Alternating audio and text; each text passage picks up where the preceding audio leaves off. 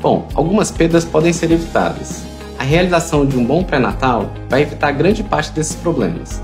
O acompanhamento regular também de nossas crianças, eh, nesse período inicial da infância, com um diagnóstico precoce e um tratamento adequado desses processos infecciosos, vai evitar grande parte desses problemas. Além disso, temos que estar muito atentos às medicações que damos aos nossos pequenos. Principalmente na idade de início da alfabetização, é importante uma avaliação auditiva completa para permitir que seu filho possa atingir todo o seu potencial.